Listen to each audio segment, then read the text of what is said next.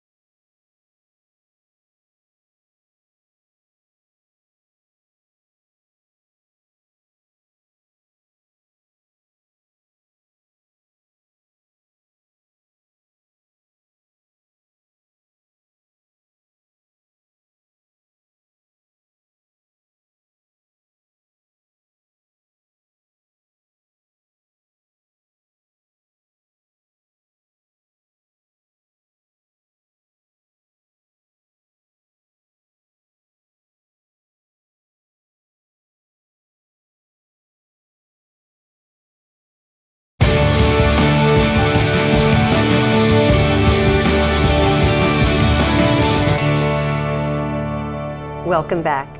Thanks for joining us for our program on Friday, January 9th, 2015. The community is invited to the opening reception to celebrate the 50th anniversary of the University Gallery. To tell us more, I'm pleased to introduce my guests, Amy Vigilante, Director, University Galleries, and Roy Hunt, original member of the Gallery Guild, second president of the Guild, and curator of the Roy Craven Legacy exhibition. And Roy and Amy, it is wonderful to have you here. And I congratulate you both. I know you and many people are working hard to make this anniversary possible and such a celebration. Well, it's a tribute to Roy Craven, so we have embraced this joyfully. Oh. And you're right, many of us have been working on this. Right, I know. And, and I'm thinking, Amy, for you, how long have you been director? I've been there about 12 and a half years. Okay, so you know, it's a it's just a wonderful opportunity for you to follow in the legacy of Roy Craven and all the other directors in between and there's some powerful people, wonderfully mm -hmm. talented people. And Roy, you go back to, you know, the original member, the go, founding member, Gallery the Gallery was established. That's right. So you're the perfect person to kind of give us a sense of that history. Well, Roy was a great friend as well as being a wonderful director of the gallery, and we spent a great deal of time together. In fact, he and his wife um, came to my house for Christmas Eve uh, for many years until uh, Roy passed away, and Lorna continued to until this past Christmas. So, uh, you know, they were great friends as well as uh, wonderful benefactors of the arts in our community. Well, so. we and we you're right. Now, because he was director for what 25 years, longest standing director and that is quite a history. So, with all that he accomplished and your personal friendship, you must be bringing so much to that exhibition to highlight his his career and and who he was and well, we would like to, to think so. We have uh, borrowed from the Harn uh, over 50 pieces that um, came into the gallery collection during Roy's time. Uh, and it's, it's those relationships he developed with, uh, with donors, with collectors, uh, that really established uh, what the Harn is today. Well, and take us back, founding member Gallery Guild, with um, a number of other people that are well recognized in this community. Well, I, in fact, I have uh, in front of me a letter that we sent out uh, in April of 1975 inviting uh, members of the community we thought would be interested in, right. in joining with us. And I, as I look over the um, the list on the letterhead, it, it's really very impressive. Uh, Mrs. Robert Q. Marston was the honorary chair. Uh, Howard Suzuki, who was dean of one of our colleges, was our first president. Mary Jean Hanson was the vice chair. Buff Gordon, who many of uh, this audience will know, was Certainly. uh, recording secretary. Patty Stanley, uh, Pat Rambo. Um, then uh, uh, those of us who are old enough would remember Virginia Aarons. Then uh, Billy Chandler, who succeeded me as president and who was, uh, you know, a major collector of American art. Uh, Sally Hadley, Harold Hanson, Frank Maloney, the dean of the law school who Oh, hired yes. me in 1962. John Sung, uh, Josh Dickinson, uh, Oh, yeah. Marianne Green, who many of you know from Certainly. public radio. Uh, so these are, are people who were on our original board and, and committees.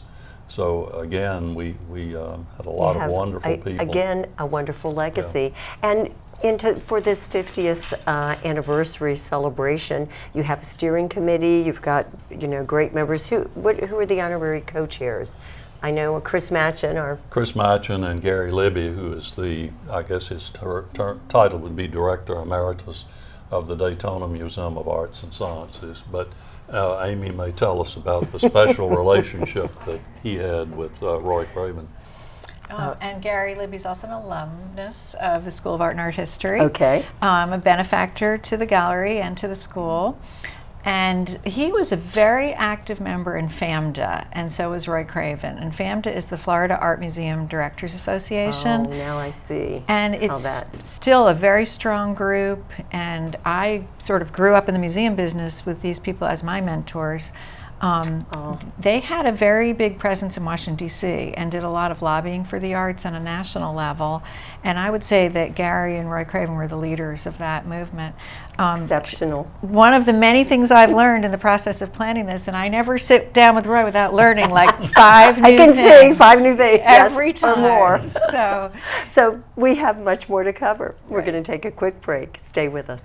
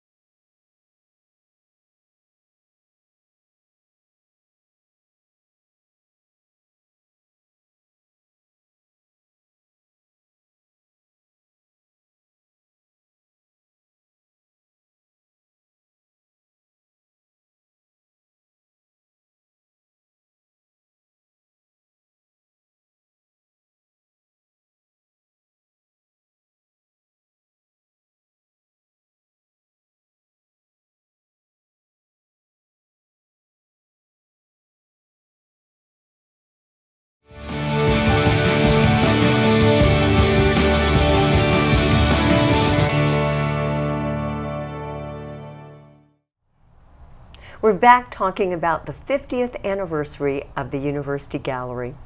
And Roy, take us back to the Gallery Guild again and, and share some of the objectives from the beginning. Well, I, I think there were two major objectives. One was immediate support uh, for the then existing gallery and its programs to assist with uh, adding to the collection, to assist with openings. Uh, but certainly a long-term objective or goal was to create a permanent art museum in this community. And that, of course, t- uh, turned out to be the Harn Right.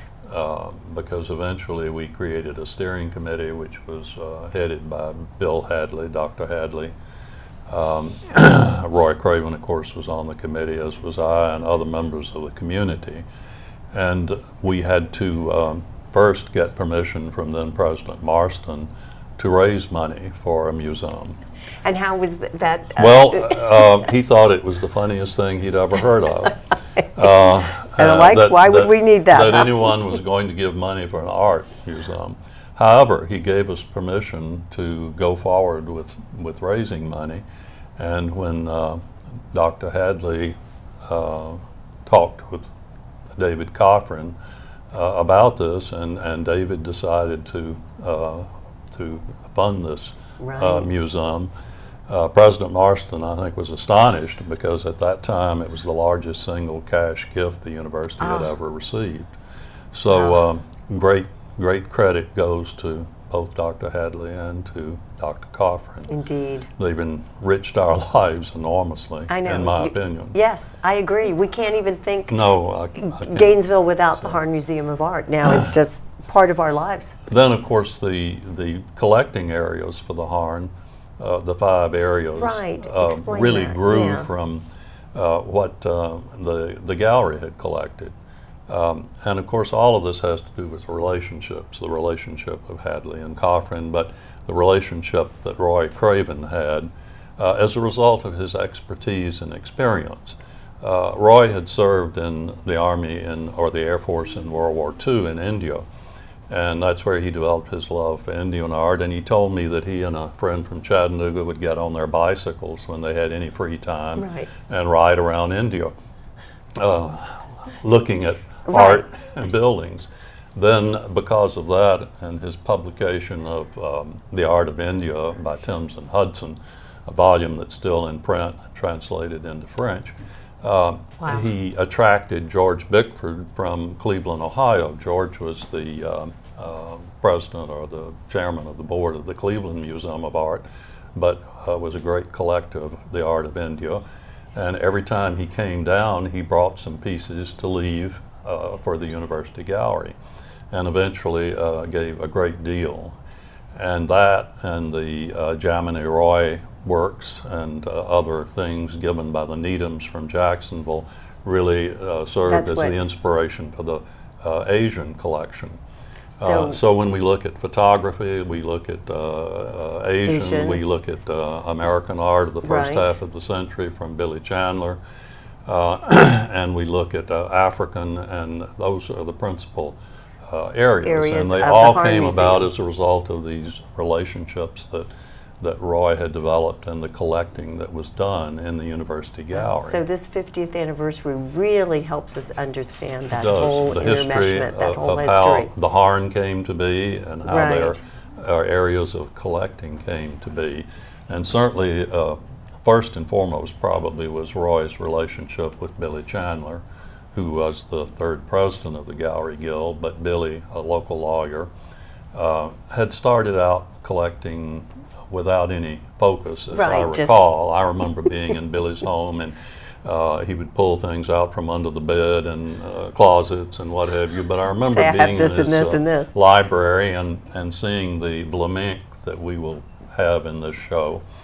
Um, and uh, again, you know, a French artist, but Roy Craven convinced him to focus uh, on a, an area and develop a, a collection that was really meaningful in terms of, uh, of a museum. Right, at museum quality. And so he um, served as Billy's advisor, really, on the purchase of American art of the first half of the 20th century.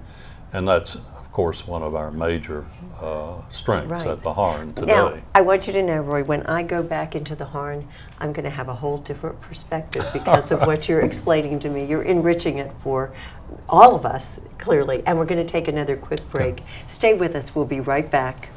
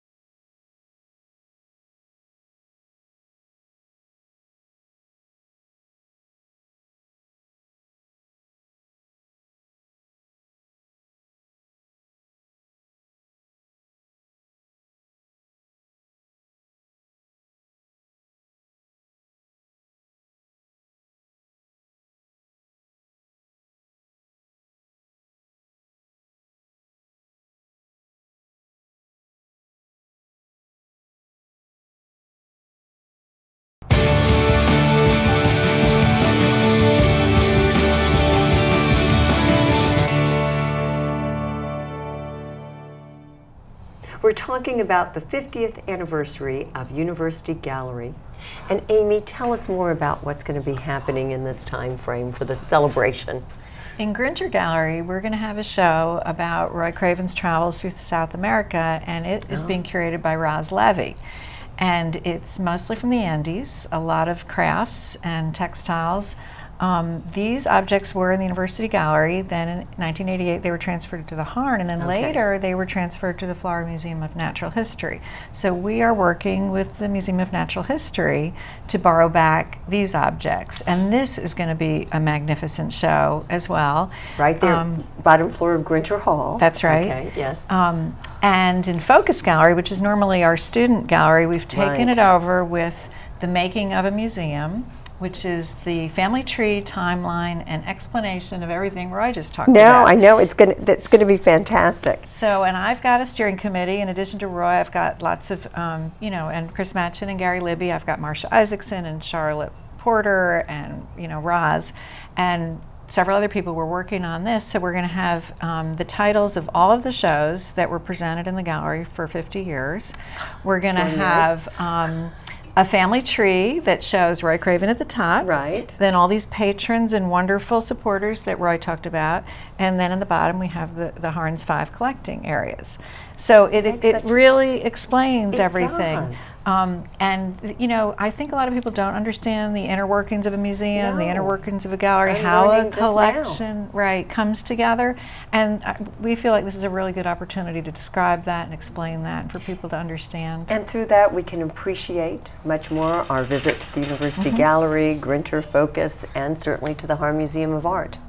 Because when you understand comes greater appreciation. I think that's certainly true indeed. I, I, I think there are many who don't appreciate the difference between a museum and a gallery. So that's that's one of the important contributions that uh, Amy and uh, what she's accomplishing during this 2015 uh, will do. Right. And it's going to be going on for quite a while. There's several months Mm-hmm. worth of uh, opportunity to visit the Right. exhibits, right, Amy? through And- February, and Uh-huh. um, we also have done a few uh, interviews, oral histories with the That's Samuel right. Proctor program. So we have both Roy Hunt and Gary Libby talking about um, the University Gallery, but in addition, all of the um, subsequent gallery directors have been interviewed.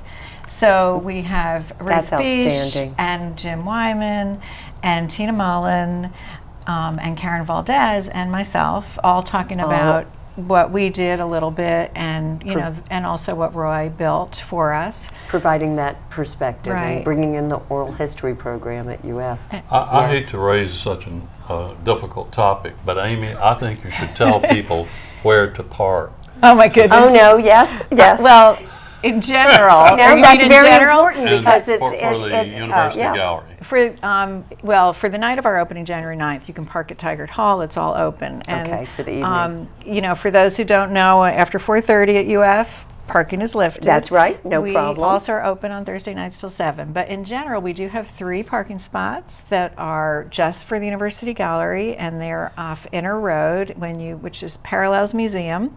Going back out toward 13th, and right before you get to 13th, you turn into the little lot. There are three spots. Been there, right? Right. And once you get to University Gallery, you're just just right around.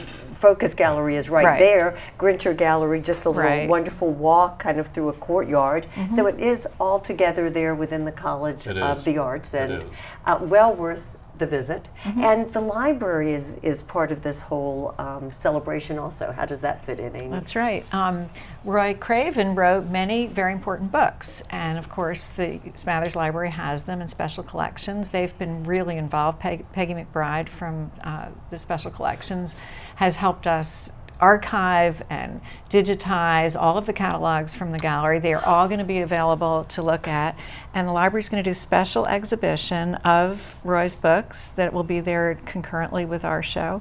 So it's very exciting. It is. You have a, a great deal planned, Mm-hmm. and it's going to be wonderful. And there's still more to cover. Well, We're going to. and Roy's daughter has recently given the library 11,000 11,000. I read that. photographs She- yes. from his personal collection. So in perfect condition, black Oh, and white, very artistic. And I guess I'll let out a little secret Yes, that please. we're going to feature also in, in the timeline exhibition all the pictures he took in 1974 of the faculty, black and white, staged, very 70s. I saw one or two. i- In their Yes, studios. yes, I did. Stunning. You will know some of these people, of course, you know, Hiram Williams, Jerry Uelsmann, Right. and it goes way back. It, it's going to be wonderful. What a wonderful opportunity. It- It's mm-hmm. very meaningful. Yeah. We're going to take just a short break. Stay with us. We'll be right back.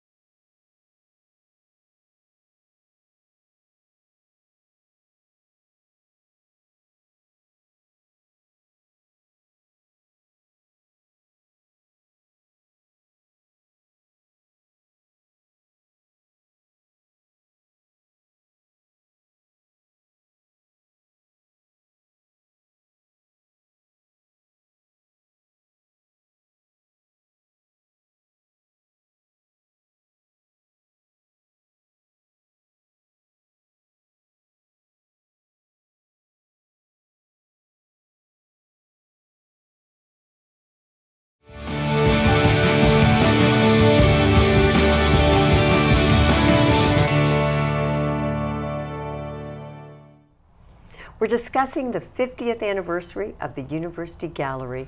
And Amy, tell us what is the gallery up to now?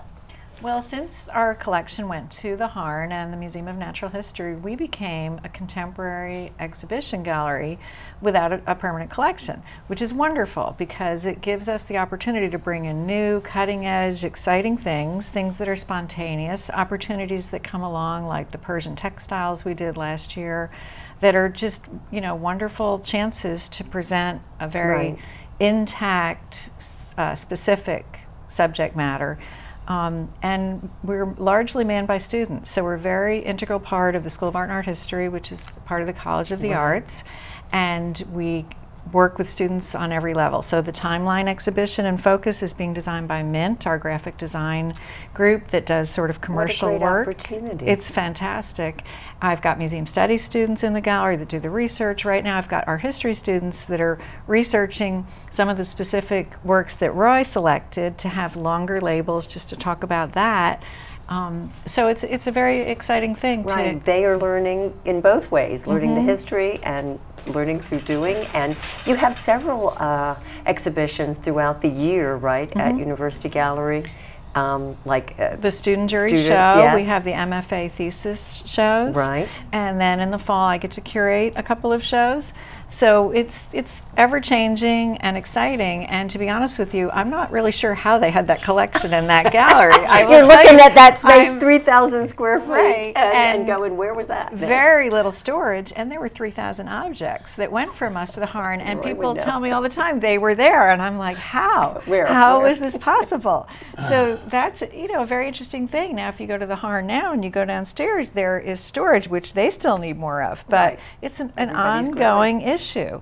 And art needs to be taken care of and Exactly. protected and preserved for eternity. It has to be stored appropriately. Well, there was an attic at the gallery. I know that the secret is this Yes. the secret, Roy? And well, and now I'm really looking forward to everything, Mm-hmm. ex- especially Friday night, January 9th. Already a new year, 2015. Right. Tell us what's going to take place. Well, we usually have our openings include all three galleries, and this one will as well. We're you know, Miliana's is doing the food, for All the right. members preview, and we're going to have champagne, and we're making special champagne flutes with our uh, 50th anniversary logo um, engraved. And then from seven to nine becomes the public reception, and we're having food by Vine, the, who makes homemade bread. Yes. Um, and we usually have dancing in the courtyard. I don't know if it's going to be too cold that night. We're going to play it by ear, but we've been getting into some disco and DJ Yes. and bringing things back from Oh, the no. 60s, 70s, and 80s. Um, and our parties are, are A lot of legendary. I have to say. That's the one thing we're known for. And now the, the 6 to 7 p.m. is the private Mm-hmm. reception, as you said, for members. So being a member is very I. I hope that will encourage everyone who's watching Exactly. the program tonight to uh, become a member because it's going to be a memorable party. Yes, and it's valuable. Membership keeps Mm-hmm. the gallery uh, going, the University Gallery going like it does so many. And they can go to the website, find out Right. different levels, how to join. Because for Mm-hmm. each of these exhibits you've talked about, there is always uh, a private reception and a public Mm-hmm. reception. So, yes, you can continue to party throughout the year. That's right. But this And we- will be the number one party, the 50th. That's right. And I want to thank you both for all you're doing to make this possible. Well, thank you for having us. Oh, thank you, I've, Ilene. I've learned so much, Roy, as I always do in a conversation with you. Mm-hmm. And Amy, I'm thrilled for you. Congratulations on being director at this time of the University Galleries. It's just outstanding. And we will be the people, we'll be partying January 9th. That's Absolutely. right. And I hope I will see you there too. And I'm so glad you tuned in, and I hope you'll join us next week. Take care.